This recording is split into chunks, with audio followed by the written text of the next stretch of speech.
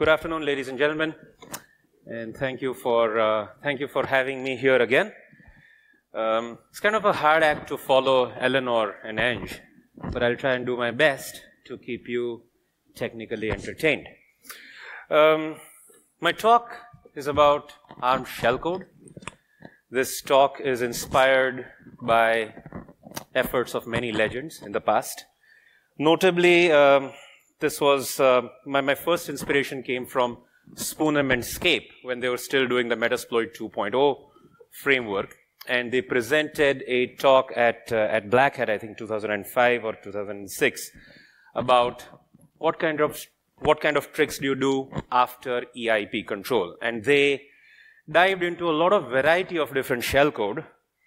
Now, the x86 world is full of mature shellcode. We all have interpreters and stage shellcodes and whatever have you. The ARM world doesn't. So I started writing things up. These are uh, scribbles from my notes. Oops, this is not my usual laser pointer. Right. So I have a few tricks to present. These are classified as tricks at best. And the tricks have been inspired by the likes of Ange, who walked off the stage uh, a few minutes ago, and Travis Goodspeed for POC or GTFO. And part of my trick involves um, shellcode polyglots. I too am a big fan of polyglots, and uh, let me take you on this journey. So my name is Saumil Shah. Um, quick background. I'll, I'll, give you a very brief background about ARM shellcode, just to kind of get you a little familiar with the three-letter acronyms that are popping up on the screen. Um, and then uh, we're going to talk about two things. I initially started talking about three things. But the problem of cache coherency in, uh, in ARM systems has been solved rather easily. I had a very complicated technique, so I'm not going to present that. Uh, but I'm going to focus on two techniques. Uh, one is how do we get around space limitation in shellcode.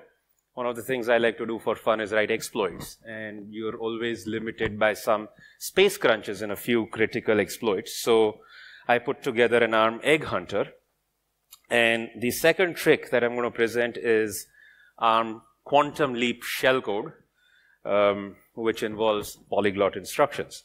And then, of course, we'll have demos, and I'm hoping that the demos work so that I don't look like a complete fool in front of you.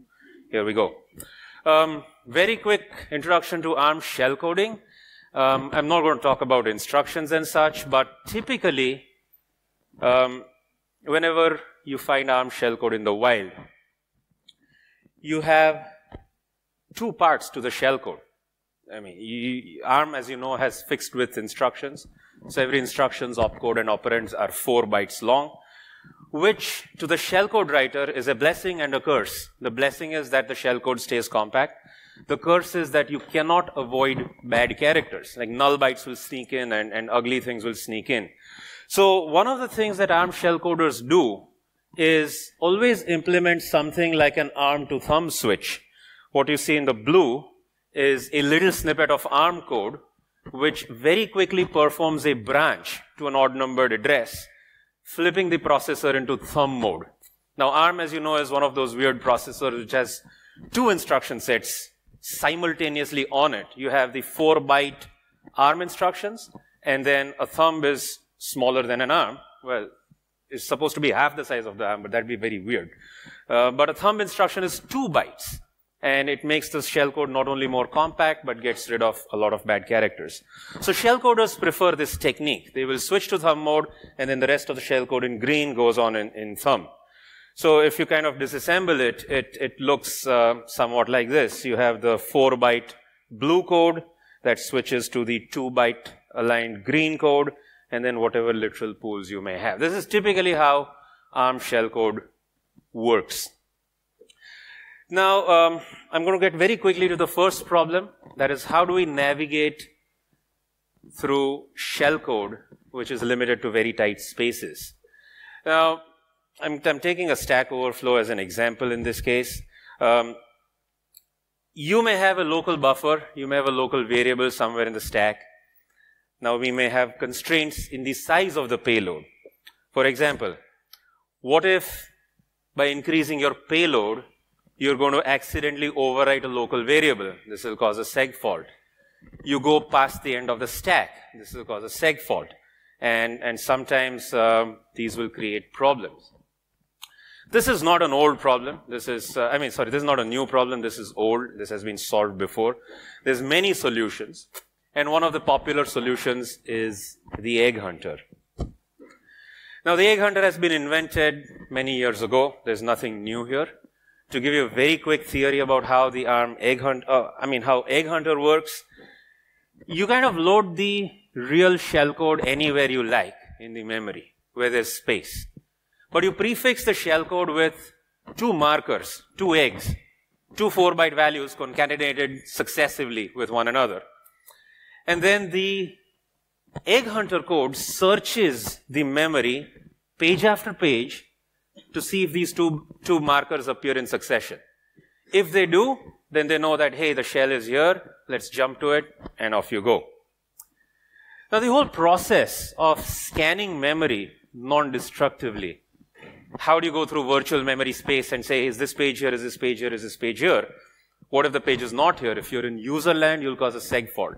So you got to have the kernel do this for you, and this happens by using some syscall, which you really don't, you really don't need. But the moment you have a syscall which takes in a memory address as one of the arguments, you run the syscall. If the syscall comes back as failure, then it says, okay, the memory access was not there. That means the page doesn't exist and you go on. This technique was what was documented by Spooner and, Spooner and Scape to safely determine whether a memory page exists or not.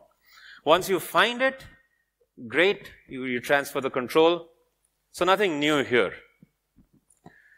Let me give you a recap of what happens in the present day and age if you use an egg hunter, and specifically an ARM egg hunter. You may choose to load your shellcode up anywhere you like. For example, here I've loaded in the heap.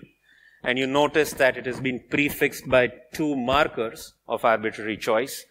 I've called it hack hack here, but my production shellcode always uses ABBA ABBA because I like ABBA very much. Right.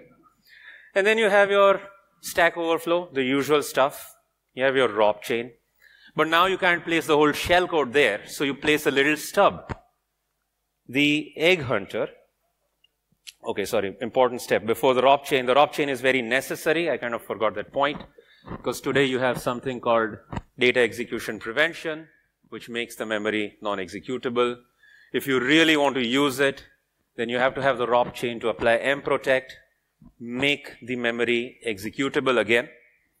And then uh, once your stack is executable, you can then jump to your shellcode. Your shellcode will execute. And then the egg hunter goes through scanning page after page until it finds the pattern. It finds both of these eggs. And then it says, okay, shellcode's been confirmed. Now, let's jump here what's going to happen? Utter failure. This will not work simply because the memory at the heap is not executable yet. So, um, data execution prevention, I mean, of course, it has been solved by this ROP chain over here.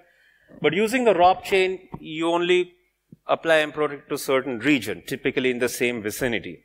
Sure, you can build a custom ROP chain to apply mprotect to different regions and then do it. But like I say, a good shellcode must be delivered in style.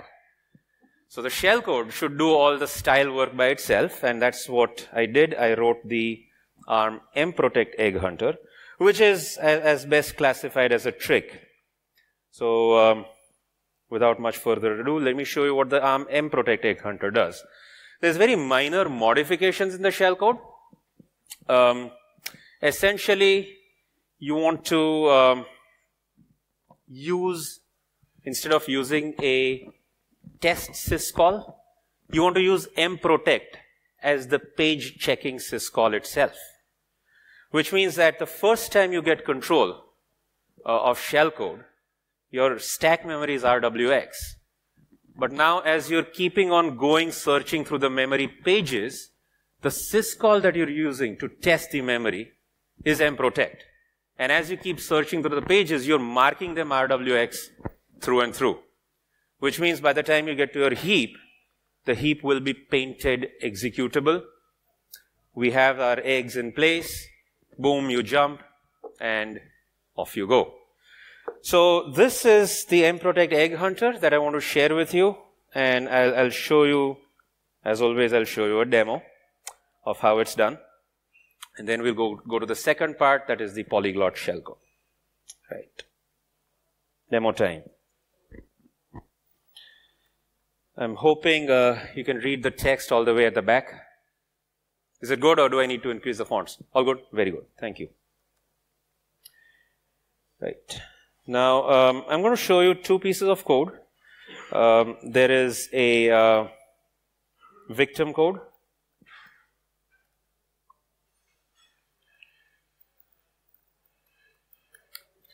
Right, here is, a, here is a classic Stack Overflow bug. The shell code is a series of ARM breakpoint instructions, which I'm going to malloc and load it into the heap. And of course, I, am going to prefix it with these two eggs. Um, and then down here, you have your, you have your classic buffer overflow, the dreaded string copy, which keeps us employed and in business for more than 30 years. Now, um, right. Um, okay, sorry, I have to refer to my notes uh, a little bit. Let me show you the code. So here I have the egg hunter code. I'm not going to show the classic egg hunter because that doesn't make sense anyway. Anyway, let me straight away go and show you this egg hunter code. By the way, all the shell code is already up on GitHub. You can feel free to steal it, modify it. Uh, if you modify it, please let me know because I love new tricks. Um, the core of the egg hunter loop is over here. The syscall that I'm using to test the pages is mprotect, which is hex 7 delta. And I increment the pointer by hex 1000 bytes at a time. And every time I apply the syscall to invoke mprotect, I am also marking the memory protection as RWX.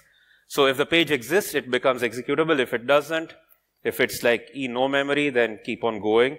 And once you find a valid page, then you check for the presence of the two eggs. If the eggs exist, then over here, you simply jump to the shellcode. I'm not going to go into the details of the assembly, but rather let's see this using a demo.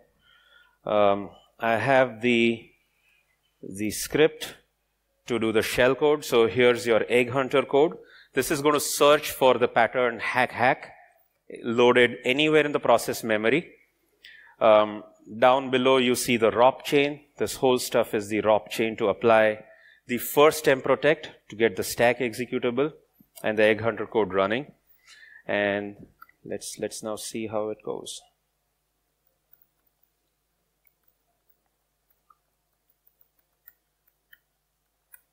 Got this and while I'm doing it let me also get the final code.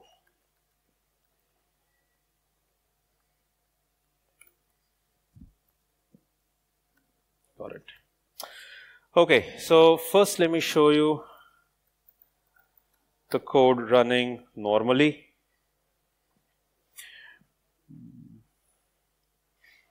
I'm going to run crash the whole program with the classic stack overflow. Uh,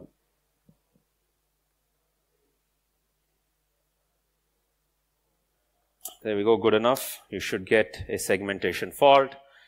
You see the program counter in your control. The stack memory is, uh, the stack memory is also overwritten. You stick the egg hunter over here at the stack. And then, uh, let's see how it goes. If I look at the memory permissions, currently data execution prevention is on and the stack is not executable. However, I also have the shell code that is already present um, loaded up in the heap.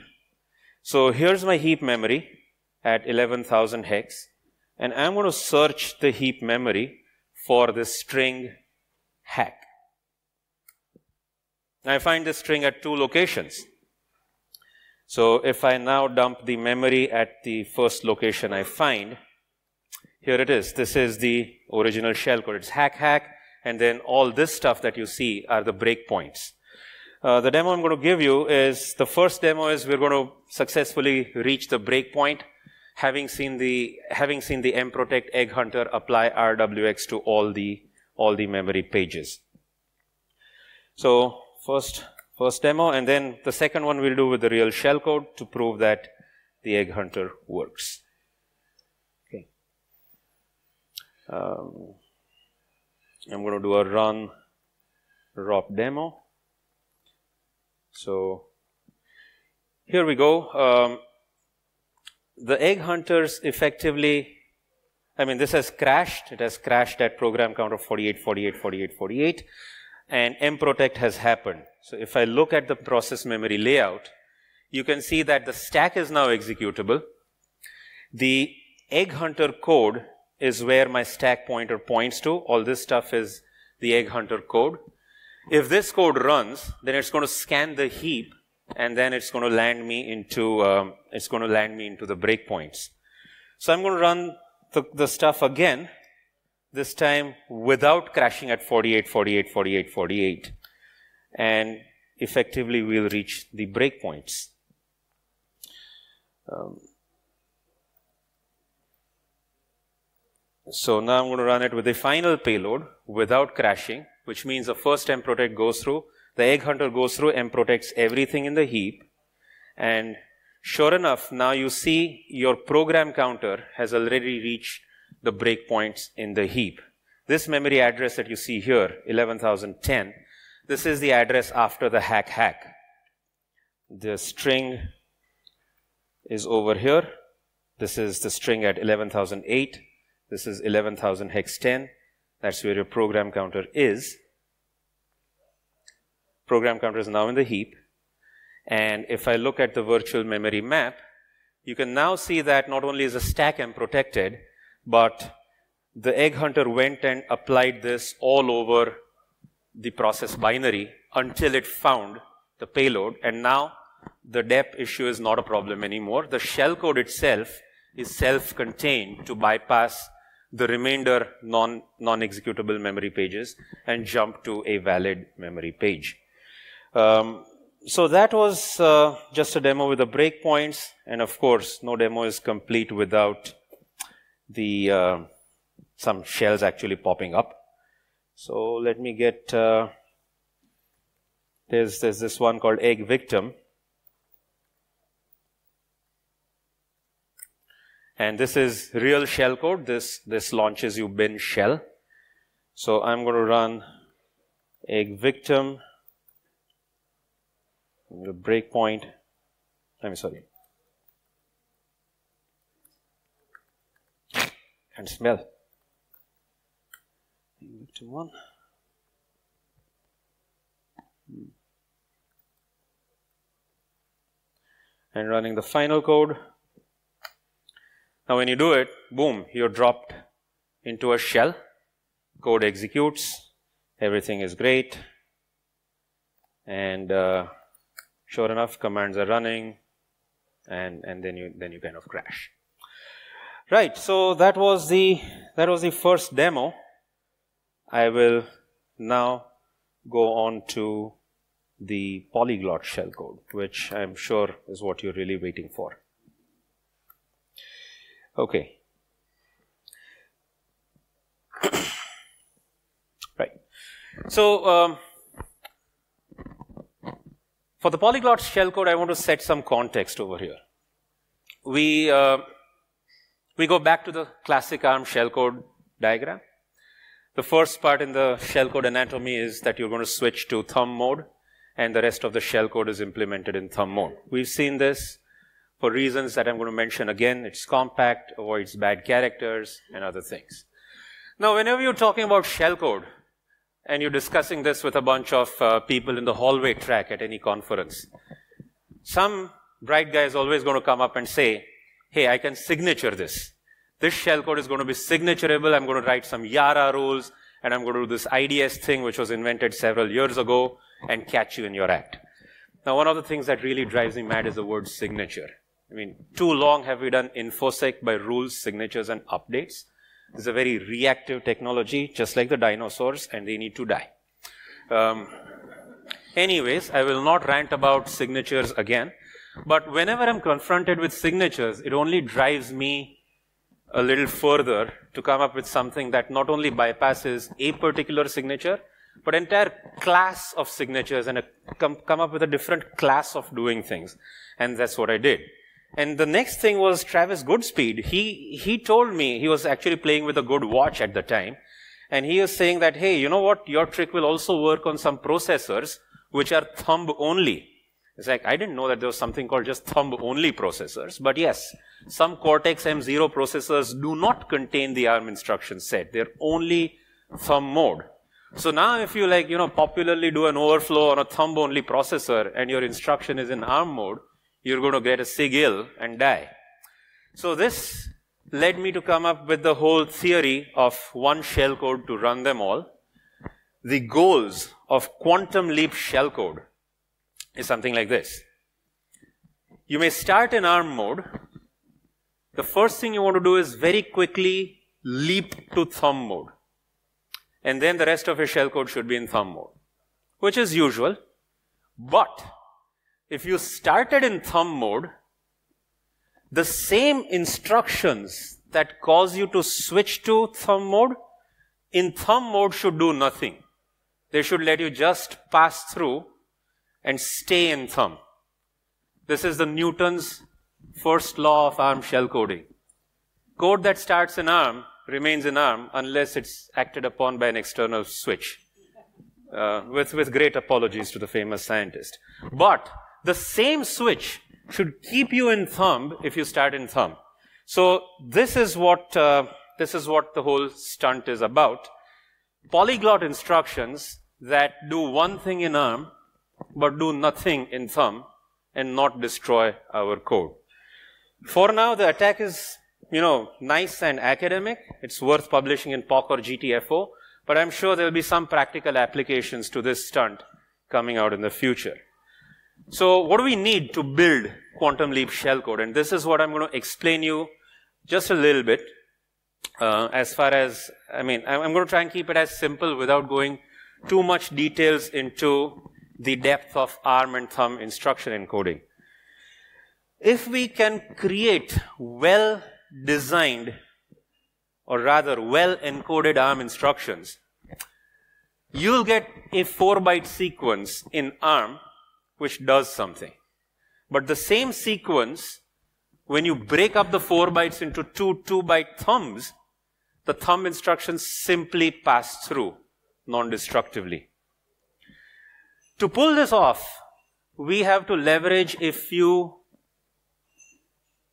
cool features that the ARM instruction set provides us. And, uh, you know, there's, there's, there's, there's no formal theory of doing this, all about polyglots. Polyglots are all about lateral thinking.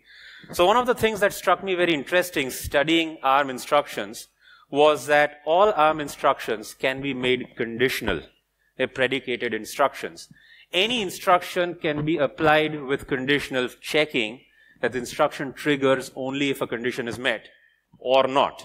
So this becomes very helpful. And then, of course, you need some luck and perseverance and, and iterations. The name Quantum Leap shellcode was credited to uh, one of my friends named Dialup. This was invented, coined at 44Con uh, a couple of months ago. So now let's see what happens if you transform ARM instructions to thumb rather forcibly. Here we begin with the same arm to thumb switch. This is the part that we're trying to modify. So this stuff is the ARM code. The green stuff is just placeholder thumb code. If we force the ARM disassembly into thumb view, the instructions that you get for these 8 bytes will be something like this. The first thumb instruction ASRS stands for arithmetic shift right with status update. So you're shifting right one register with so many bytes, whatever it is. Fine, that is non-destructive. That's cool. But the second instructions that you get, this is a branch instruction. This branches to an offset. Now branch instructions are destructive. They take away control from our shellcode and kill us. And the next instruction, the BX instruction, if you split it into an arm thumb instruction, this becomes like a highly complicated vector floating point thumb 2 instruction, which I don't know what the bloody hell it does. And I definitely don't want it as a part of my shellcode because it's going to kill me. It looks too large and large things kill you. Um, so the whole art of polyglotting this relies upon you wanting to avoid destructive instructions. So no branches, no load store because you might be loading from memory address that doesn't exist, writing to memory that's not writable, no floating point instructions. The other goal is that this should work on a Raspberry Pi 1 or some dumb IP camera, which is ARM v6 core. So we do not want thumb 2 instructions as well, the lowest possible denominator. And of course, we don't want sigil, no, no illegal instructions. So with this, you got to play around with ARM and thumb decoding, which is what I'm going to show you. Um, a quick primer on ARM and thumb decoding. So we take the 4 byte ARM instruction. We take add R1, comma PC, comma 1, which basically adds 1 to your program counter. This is responsible for the thumb switch, part of it. If you want to decode it into individual bit patterns, the decoding bits look like this. You have, uh, and I've colored these regions. Each, each color has a specific meaning. So you have the first four bits are the conditional bits.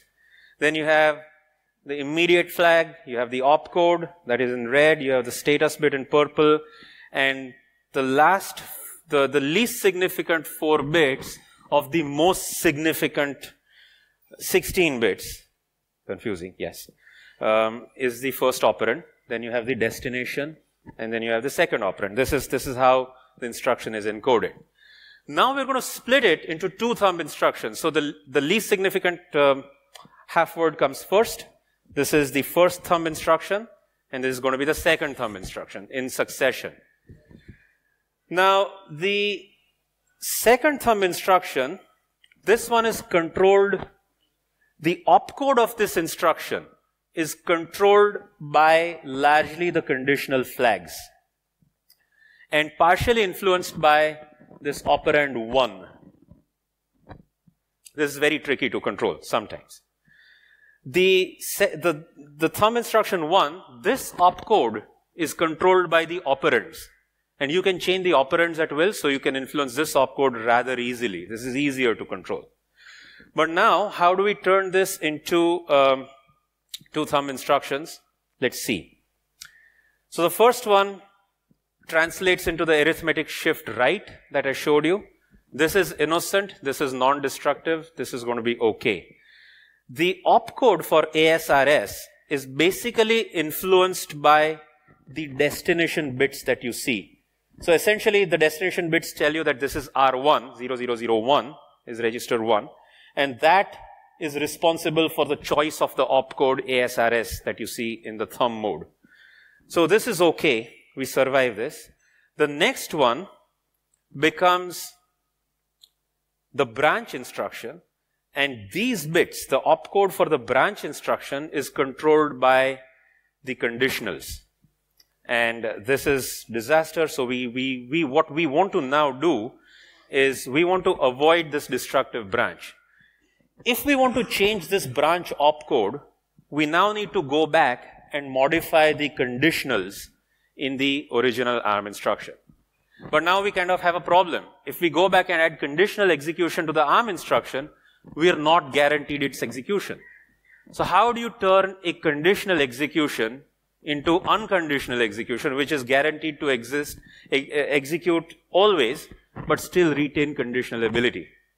Well, you choose complementary conditions. So you turn a regular instruction into a set of two instructions, each with complementary conditions. So add now becomes add if equals, immediately followed by add if not equals. One of them is going to execute no matter what the conditions are, and you've therefore introduced the conditional flag, but still kept the execution intact. And now with this conditional flag being added in, what you now see is now add becomes add any and add EQ. The most significant four bits will change, allowing you to control the operand of the second thumb instruction. or rather the, yeah. So now let's see what happens if we do this add any and add EQ. Um, how do the splits to thumb look like? So these are the two complementary ARM conditions, ARM instructions. We split the first one. This is arithmetic shift right, which is great, no problem.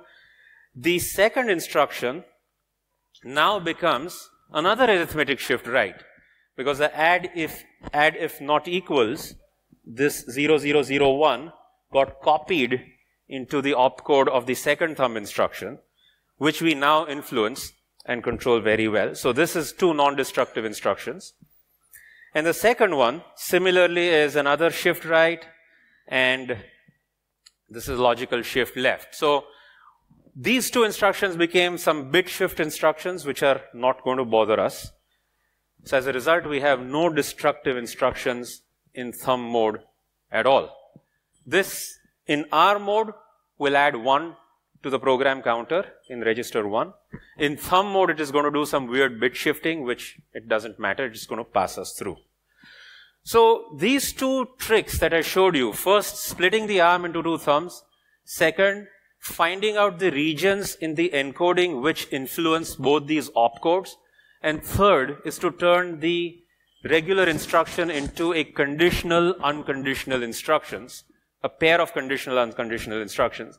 This lets you control the values of the resulting thumb. And this is the basis of polyglotting thumb instructions with ARM instructions. And now, your code, what we really wanted to do is, if you start in ARM, you want to switch to thumb. If you start in thumb, you want to stay in thumb. So the final optimized quantum leap code, hastily optimized, I say, is like this. Every, every ARM instruction appears in two pairs. So first you add some value to the program counter. You cannot do a branch to a register because a branch causes destructive thumb instructions. So instead of doing the branch, I push a register onto the stack and pop it back into the program counter. Because I do push and pop, I also have to save the stack pointer because I don't want to screw that up. But by the time you do all this stuff, you will land into thumb mode. If you look at this stuff, it is the same instructions, but, but forced into thumb mode. These will do some bit shifting and not hurt you. Okay. So, uh, I know there's, there's eight minutes left. I'm going to get to the demo first. Once we do the demo, then uh, we'll do questions and answers. Okay. Give me a little bit.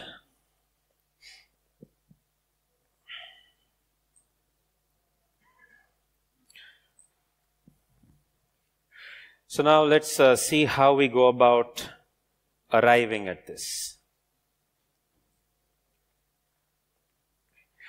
Um, I'll show you the first snippet of code this is called universal mode 0. I called it universal mode until I came up with quantum leap. So here's your simple code, which is switch to thumb, and then you're in thumb, and then uh, let me disassemble this. I'm going to disassemble this in ARM mode at first.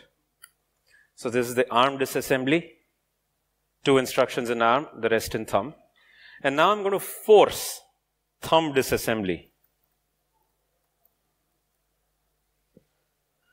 If you force thumb disassembly, these two highlighted instructions become these ugly instructions that I first showed you. So this is no good. This branch is going to kill us, and this vector floating point is also going to kill us. So iterating this I came to some different approaches where, uh, let me actually go straight. I'm going to go straight to, um, yeah, let me go to universal mode 2. So I, I, I did some work with complementary instructions.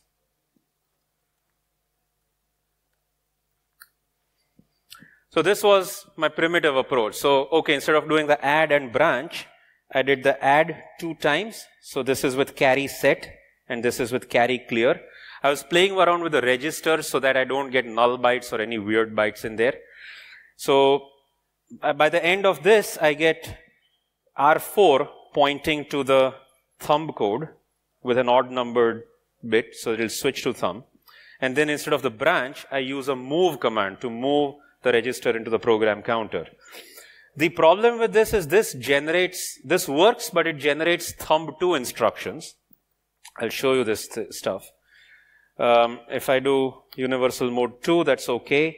But if I force it into thumb mode, this generates two thumb 2 instructions. These will not work on an ARM v6 core. These will only work on an ARM v7 core. So while this is acceptable, I want still the lowest common denominator because like I said, shellcode is all about style, right? So you can't be violating style principles here. So we want to do that. So that led me to the third iteration, which is now quantum leap 4. This is the final shellcode, which will switch to thumb if you start in ARM mode. You have the add, you have the move, you save the stack pointer into R4. Then you push R4, um, sorry, we, we add the program counter to R10, we push it into R10 and pop it into PC. We push the stack pointer as R4 and pop it back into the stack pointer. Now all the thumb instructions end up being innocent pass-through instructions. This, or to arrive at this simply requires a, a long loop of trial and error. You, you tweak a few bits until you get instructions that work on both sides. And so then I have the shellcode at the end to test for it. I'm going to do two tests. One is I'm going to start in ARM mode, switch to thumb and get the shell. And then second is I'm going to flip to thumb mode, stay in thumb mode through the polyglot shellcode and then still get the shell. So um, let's do this. So this, this is the first test. Uh, the test in ARM is simple. Um, you start in ARM mode. This is code 32. This stuff is the assembled bytes of the quantum leap code, which should switch you to thumb. And this is the thumb code, which should drop you into a shell. So I'm going to do that. If I just run quantum test ARM, I should get a shell, which means we went from ARM to thumb and boom, you have a shell, everything works. The switch happened. Now comes the tricky part. If you start in thumb mode, then you have to stay in thumb mode without switching back.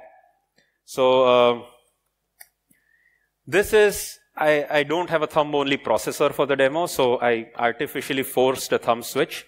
But after the thumb switch, I have the same polyglot code over here, which should keep you in thumb mode and not play any tricks not crash on you, not do any sigils, and then still drop you into a shell. So here, let me GDB this and show you.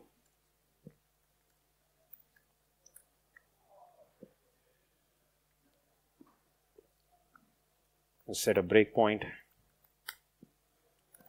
We'll start it and skip to the first two instructions, which will now switch me into thumb mode. So now I'm in thumb mode. This, at this point, we can assume that we have started on a thumb-only processor. And the rest of these instructions over here, all the stuff that you see, this is the polyglot code, but now running as thumb instructions. If I dump the instructions in ARM, these are the ARM instructions at the program counter right now. And if I dump the same instructions in thumb, the same instructions look like this add, move, compare, something, something, subtract, all non destructive. And if I now skip ahead by 16 instructions, skip through all these thumb instructions, we will see that we stay in thumb mode. The flag was thumb to begin with. Sorry, this was thumb to begin with. And uh, after doing the step through, I stay in thumb mode. And now I'm able to run my shell code. If I do a continue, then boom, I'm dropped to my shell. So that's uh, that's the demo. It, it worked. I'm, I'm, very glad it did. Uh, okay. So yes, to kind of conclude, these are some beginning exploratory tricks in shellcode. There's a lot of work to be done in, done in ARM shellcode. It's definitely not as mature as the x86 world. Hopefully what I've done is going to inspire a few more things and then we're going to start seeing a swelling of creative ARM shellcode floating around and maybe make its way into the Metasploit framework to be used like plug and play, click and drop shellcode sometime. I would love that. I would uh, certainly love to not write shellcode by hand anymore and use automatic tools. Um, the other thing is, sure, if you want to write a Yara rule, go Yara this. Good luck. And I can come up with hundreds of different polyglot combinations dynamically generated, which means that I also achieve my personal vendetta against signature-based InfoSec. Um, so with this, I want to conclude. The shellcode's up there. My slides are going to be up on SlideShare as soon as I get off the stage. Play with it, uh, and um, thank you very much. Questions? Any? This is the first time I've seen a presentation of yours and nobody, there's no questions. I no, that's because I sped through it and I was very dense with the code. Uh, but, uh, sure. Okay, if you do have any questions, you do go through my GitHub stuff and find, find me later. I'll be here. We'll all be doing yoga tomorrow at 8 a.m. You're welcome to join us as well. But don't ask me ARM shell coding stuff during yoga. I might break my back. Uh, right. Well, uh, enjoy Luxembourg. Enjoy Hacklu. Thank you very much for your time and attention.